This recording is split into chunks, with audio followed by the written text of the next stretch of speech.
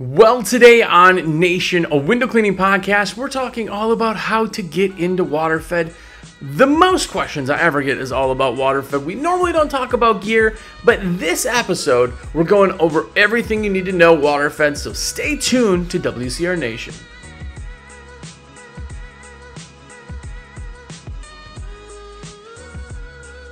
What's up, everybody? Jersey here from windowcleaner.com, and you are here. What's up? If it's your first time here, have a look around. Hopefully, you enjoy everything, or at least you can tolerate it. Six years of content. You got every episode you could possibly think of, every question answered. Go back and binge. I know a ton of you are binging on everything, and uh, some of you have even listened to every single episode, which is nuts, by the way.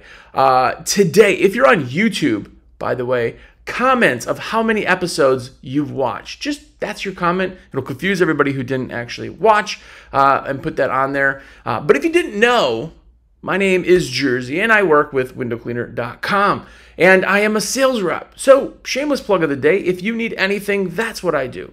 Give me a call, shoot me a text 862 312 2026. Yes, it's a shameless plug, but that's how I make cheddar. So, if you want to do like a virtual high five, that's how you do it. And, and if you want to be like the cool kids, which uh, you already are, but if you want to be an official cool kid, let me know. I'll make sure to get you one of the limited edition cool kid stickers that only go out to people who put orders in through me. And that's, again, just a little thank you to you. So 862 312 2026 is my cell. Save it. I'm the only jersey you know I'm more than likely guaranteeing. Also, do me a huge favor and go to awcmag.com.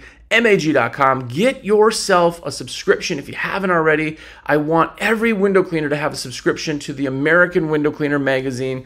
Uh, it is absolutely awesome. It is a real magazine that comes to your door every single month. Every month.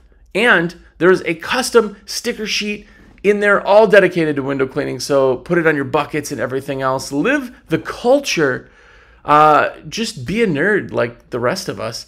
And uh, more importantly, it helps me out. So go to awcmag.com, get yourself a subscription, and there you go. So there's all the, the, the, the intro. Always takes about this long. So I apologize either way for intros, but we're talking about waterfed. Now, before you jump off and say, I know waterfed, I've been a waterfed for years, yeah. This there may be some things in here that you didn't really know or things that you may be questioning or something along those lines. So it could be a good episode for you, either way. Um, but if you're new into water-fed window cleaning, or you have a window cleaning company, or what the new trend is, is people getting into window cleaning and they're like, "Hey, this is expensive, more expensive than a squeegee at least, and uh, but it's easier, faster. I can get into it. I don't have to learn something right out of the gate." If this is for you, and you're just wondering, you got questions, always call me. Obviously, if you're getting into waterfed, if you're looking to put an order in for a system, I would love to do that. But if you have questions, which most people do, like, hey man, you know, what does this come with? What do I need? What do I blah blah blah? I'll cover most of it today, but if not, uh, call me or text me even better, and we'll uh, get all your questions answered. Right. But waterfed is simple, simple. Like anything, there are 100 options out there. And that's where it really gets to be a bit overwhelming for somebody who's new, right? Um, I always kind of put it out this way is that if you're buying a new car, there are thousands of options and combinations and everything, right? All the different brands and models in each brand, and then you have paint schemes and you have types and interiors and but because that all kind of makes sense to you, you don't get really overwhelmed. You go, oh, I like that one and that's what you end up going with, right? It's the same thing with waterfed. There's a lot of options, and you can spend $20,000 on a package. Hydrostation triple with like a destroyer 90, right? You could do that easy. But there's no need for that if you're not needing that. And most people aren't. So with waterfed, that's really where it comes into play. Um, I always say the the the adage, uh, you don't need a Lamborghini if you're just going to the grocery store, right? There's better things for that, and that's the same thing in waterfed. Waterfed, just like any cleaning, is a lot of um, opinion, if you will. And sometimes opinion is construed as fact, and um, people go, well, this has got to be the fact. This so and so said this. And it's like, well, that's their fact, and their fact means it's opinion, right? So I'm going to break it all down. And basically, let's start off with how waterfed works. If you're new, this is how waterfed works, but there is a system, and that system filters the water. There's two types. We'll get into that. But basically, tap water, water normal hose water, comes out of the spigot from the property uh, and goes right through the system. There's already PSI to that, so most systems aren't going to have pumps. When the water comes through, it goes through sequential filtration or a standard tank and comes out of the system pure, which is under 10 TDS, which pure water, no matter what you see on a beer commercial or what body of blue, beautiful, pristine water is, water strives to be dirty. Water wants to hold stuff in it right? And those stuff is what's considered TDS, total dissolved solids. But that is just minerals. So normal water out of the tap has minerals. And that's why when you hose off a black car in the sun and you just leave it, it gets water spots, right? If you go to the car wash, the last step in a car wash always is a spot-free rinse before it goes through the blowers, right? The spot-free rinse is pure water. So what we're doing is just like a car wash, right? And that's why there's no squeegeeing, no detailing, any of that. We actually leave the windows wet and it dries pure. It dries clean, no spots, right? So that's the concept of what pure water is doing. Now, I will tell you, to go into kind of another level, when you use a soap, an soap, a, soap is a an encapsulator it takes dirt, and you've seen every Dawn commercial ever, and it surrounds the dirt, and then that allows the dirt to be rinsed off so it can't bond back to a surface. That's the encapsulation part of soap. And people go, well, why don't you need soap? If we're using just water, that ain't gonna work. I gotta use soap. Wrong, wrong. You do not ever need to use soap unless you're degreasing a window, meaning you're in a truck lot or windows on the interstate or something and you got to hit it with a degreaser first because it's gnarly. Anything else is done organics, all with waterfed. Waterfed does what a scrubber and squeegee does. Absolutely, perfectly, and if not, I might say a little bit better because you do the frames and you rinse it, there's no residue, anything left on it. Now, if you got to scrape paint or something along those lines, people go, "Well, I could do way better nosed glass," because you pull out your razor, you know, obviously that's that's not what this does right you can't take hard water off of glass or scratches out of glass with it that's not what it does right but when that pure water comes out it becomes the encapsulator to a degree remember water strives to be dirty so it takes those minerals puts it into the water and then that's why you can rinse it off and you rinse with the pure water right so basically the whole thing you need is a system a pole and the brush. And that is as simplified as what pure water is. It's just those things and a hose to connect it to, right? So basically, you take, go up to a window, you have your system set up, and you're running water through it. It's coming out pure, going up the pole and out of the brush. Now you scrub the frame. Always scrub the frame. If you avoid the frames, you're water feeding wrong and you're going to get spots at some point. Scrub the frame, rinse the frame. Scrub the glass, rinse the glass. That's how you water feed. And it is literally that simple. Really. It's pretty shocking, actually. Same thing with solar. Same thing with um, um, if you're doing any type of signage cleaning or anything like that, it's the same process. Basically, you scrub it and then rinse it. Now, if you look at most brushes, they all have jets coming through. Now, the water that's coming through the jets, when you take the brush off the glass, the water is spraying on and you're not touching the bristles to the glass. The bristles are what hold the dirt. Now, if you use like a rinse bar, which that's just another piece, it comes on top and you can leave it on the glass. But when you rinse, you take the brush off, it sprays water, you rinse it off. Most windows, if they're not hydrophobic sheet, makes it really, really nice, simple, done. You go on to the next window. And if you ever wondered, you know, how this magic water works, it's just like rain. Rain, most rain, is to some degree pure also. So there's no magic to it. It's not anything. You're just doing it in the right order. You're scrubbing it, which removes the dirt bond from the glass. It encapsulates the water and you rinse it off, right? If you ever see somebody say WaterFed doesn't work, they're going against science. That's not a thing. I mean, that's it just isn't a thing. Now, water fed works on 99% of the windows. The only windows that sometimes you have a little bit of an issue is like uh, some wooden frames. I've only had one job like that my entire time. I've used WaterFed 15 years. That'll pull a little bit of minerals out. But what happens is people before you go, well, they, they, they said they don't want that water stick because the last people did it wrong or, or uh, they did it and it turned out crappy. Yeah. Have you ever seen somebody who didn't use a squeegee right? How it looked? If I walked up to people in the street and I handed them a squeegee, said, clean that window, it would turn out awful right? They go, oh man, I, I'm terrible at this. If I hand them a water fed, especially to a window cleaner who thinks they know everything there is to know about window cleaning, they've been window cleaning for 30 years. I hand them a water fed, they clean the window and go, this thing doesn't work because they don't understand what's happening. They think it doesn't work. But just like everything, you have to have it done right. So you have to practice a little bit. Super simple, but anybody who says it doesn't work is run into one of those situations. Either they threw it up there, thought, hey, this magic stick doesn't work, I'm never going to practice with it. We have that. Literally once a month, somebody's like, yeah, I, I hate this system, man. It doesn't work. It does work. You just have to practice. No, it doesn't. I did it. No, no, you didn't. Like, don't argue. You have to practice. How anybody ever thought that something they're going to get good at, they don't have to practice. Everything you have to practice. No one's ever instantly good at things. You want to be a better driver? You practice. No kid who's getting in the car for the first time is a great driver. Right?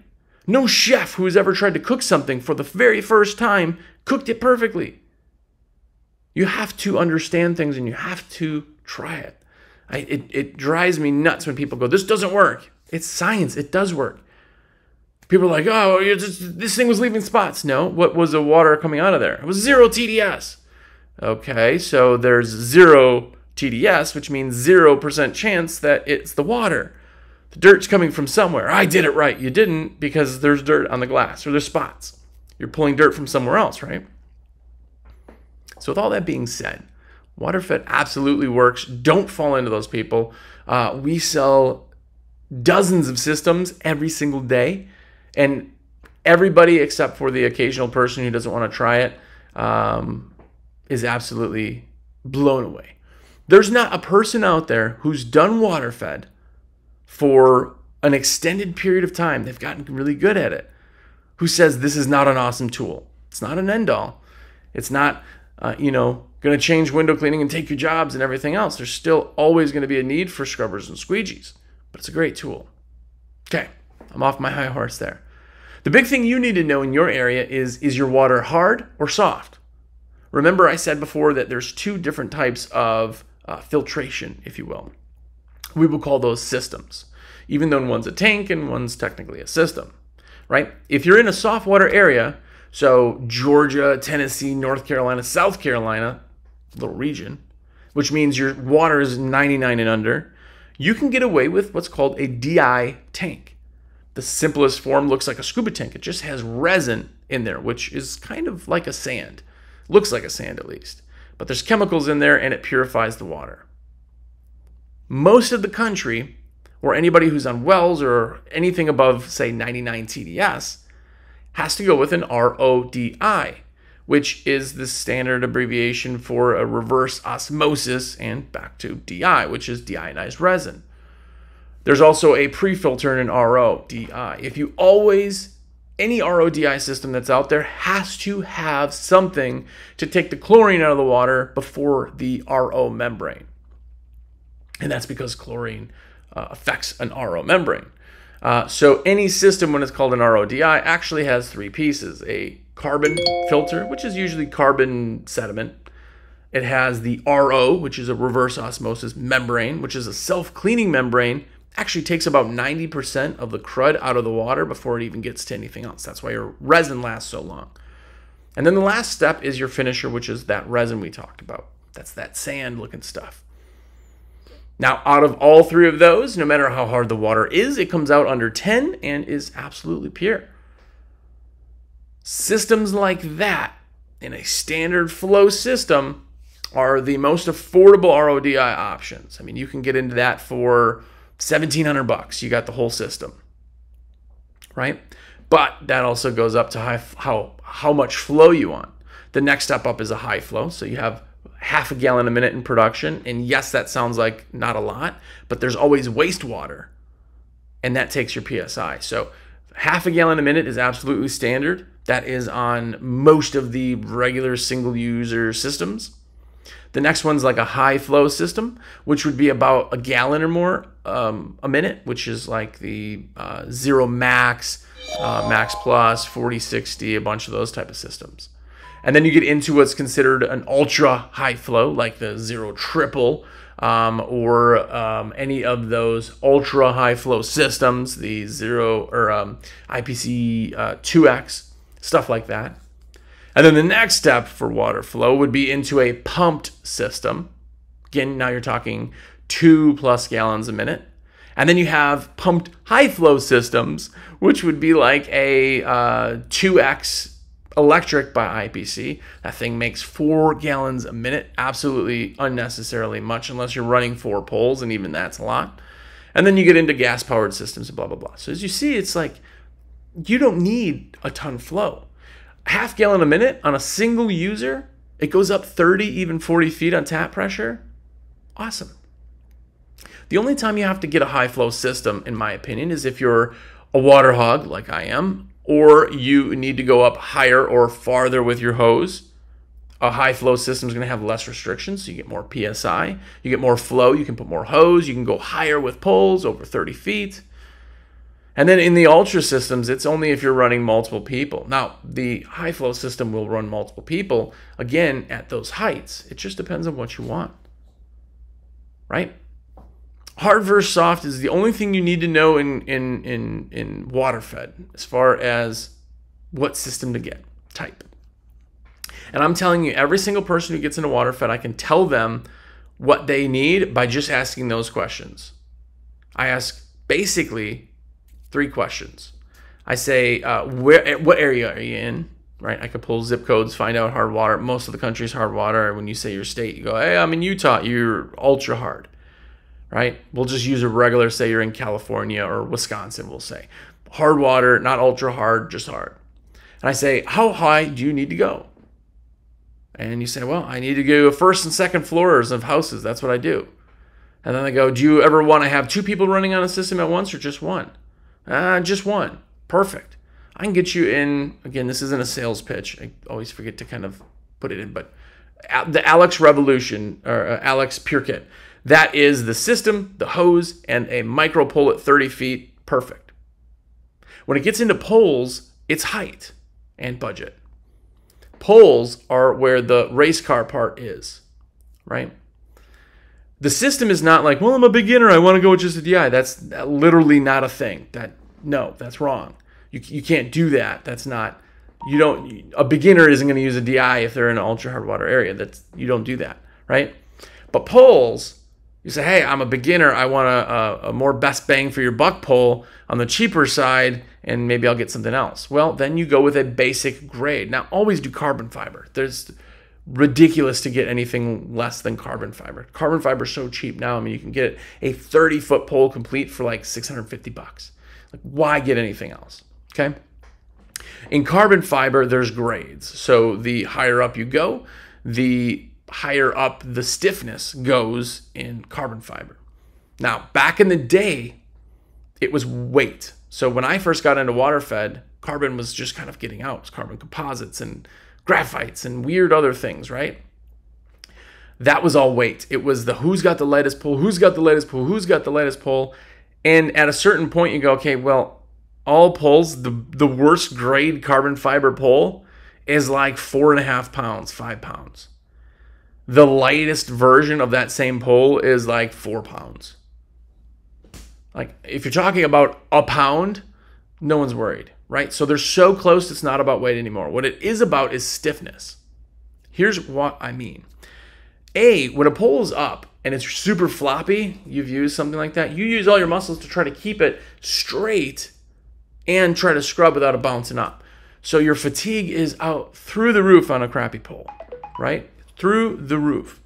But, but, if I could have a pole made of diamond or something, I wouldn't be fighting it anyway because it's so stiff, right? What would happen is that I could just push on the pole and five pounds of pressure in my hand would translate to five pounds up there. But we don't have diamond poles. Might be a little bit expensive. But we do have really, really stiff carbon fiber. So when you see different poles, that's why. Say the Destroyer class, one of the stiffest poles on the planet. Uh, it's also the most expensive pole that we sell. But that pole can go up to 90 feet if you need, but starts at 30, right? A basic grade carbon fiber pole does 30 and even maybe 40. Technically, you can go to 50, but I wouldn't recommend it. It's too floppy at 50. So that's why I ask how tall you need to go. That's where your grades of pole come in. And grades of pole will always come back to where your budget is.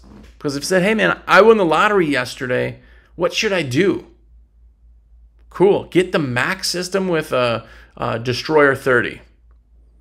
You do that, and that's a great combination. It's a perfect combination, I think.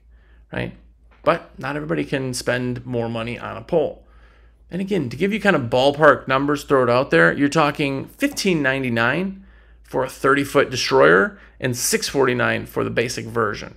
So a lot more money. You have to decide if it's in the budget. But again, other brands, we sell everything, but the um, XERO brand, by the way, has a 12 year warranty. So even if you buy the more expensive pole, it's going to last you 12 years, right? So definitely, definitely worth it either way on that. But now every pole is how you get the water up there. That's how you scrub. But when it gets up there, the translation, it has to scrub with a brush. And there's lots of different brushes. Again, overwhelming, I know. A standard hybrid brush in the middle category is absolutely the best kind of run of the mill brush. It's got boar's hair in the center as a fiber, and the outside is nylon. Perfect. They last a while, they scrub all right, they do all that. The next step above that, if you want something to scrub even better, is going to be a full boar's hair brush. And by the way, full boar's hair over regular hybrid, everybody goes, oh, I heard it's it weighs a lot. It doesn't. It, it the, the weight is not the, the, the difference anymore. That's from back in the day. Back in the day, boar's hair brushes were on wooden blocks. So when you got a boar's hair water fed brush, it did weigh a lot more because everything else was in plastic. Now you're into wood, it just weighs a lot more. But boar's hair costs more and it wears out a bit faster. You'll get about six months out of that, where a hybrid, you're talking getting about a year. About that. Right? So you need to decide what it is. Most poles come with that hybrid brush. Good brush gets you going, does all that. It's perfect. Right?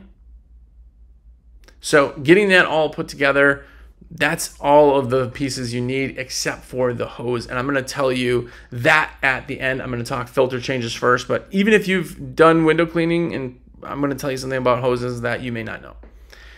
But filter changes are super easy, super fast. And I'll give you a quick breakdown, and we'll use, again, we're talking XERO, so I'll talk about that one. But uh, a XERO pure, this is standard for pretty much all of them. That pre-filter is 13 bucks. That is going to be changed every two months or as needed. That's what's dictating flow, actually. A super cheap filter, change it. The resin in that is all going to be based on what your water is, what your efficiencies are, the temperature, lots of weird things, but figure you're about every two months in your resin also. The resin change is 35 bucks. The RO membranes, remember they're self-cleaning, those are going to last you two to three years with proper maintenance two to three years. So you don't have to worry about those for a while. So if you really look at it, you're paying about 50 bucks every two months to run this thing eight hours a day. Super, super efficient, right?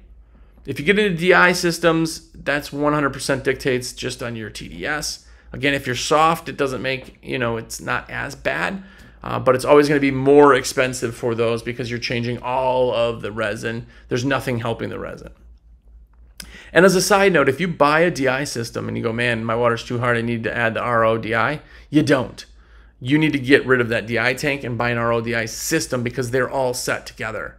If there's any type of check valves or or restrictors, they're all plumbed and calibrated basically together, right? You don't ever want to take your DI and try to add an RO because that it just absolutely would not make sense. Don't be cheap. Just get the system. If you show up and you have like a, you know, R2D2 piece of crap looking thing, like why even have it at that point? You you look ridiculous, right? Just get a system altogether. I know I'm partial. Obviously, I've done this long enough. I've actually been a waterfed for 15 years, and I never built my own system. It just doesn't make sense. Systems are so cheap. They're well put together. They look sexy. They look like they're supposed to be. I've seen some systems out there, and I know some of you guys build your own stuff. It's cool, totally cool.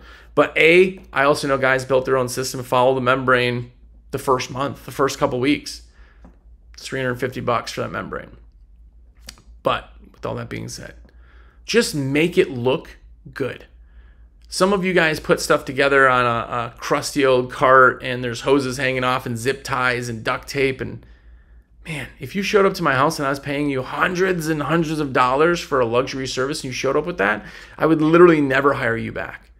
So just make it look good. Image is everything. Why do you show up in a logoed and lettered truck and then you have this this like janky system that you put together? It looks terrible, right? So anyway, there's your hard truth for the day.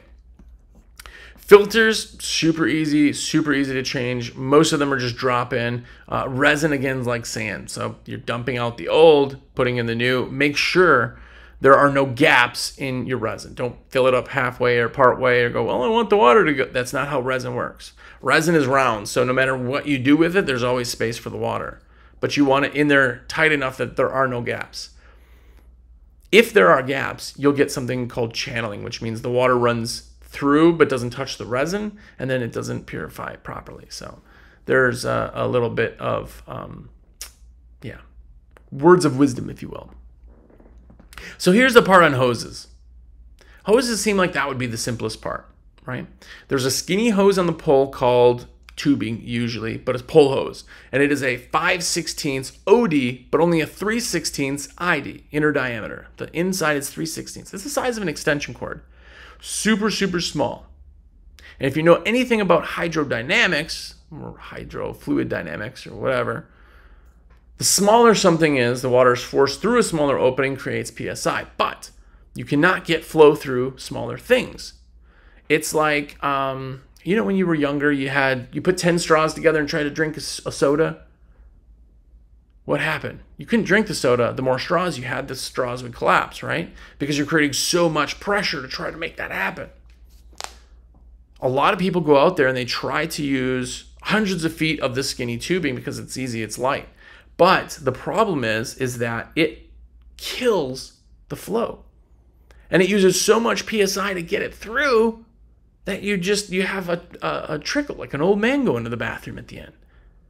The way to fix that, the proper way, the perfect case scenario, is to have your system connect up to a three ace hose.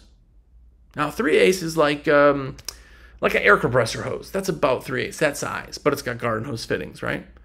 That three ace hose then connects to the pole hose. So you have three ace hose connecting to your three sixteenths hose ID. So what's happening is you're getting the flow for the most of it. You're getting as much out there as possible. And then right when it gets to the pole, it changes the small stuff to build up that pressure. You can, in some cases, make such a difference by just changing that that you could double your flow. Now, again, you're still max at that five, half a gallon. But people who run, I know guys that are doing two, 300 feet of the skinny stuff. They're like, this sucks. I don't know.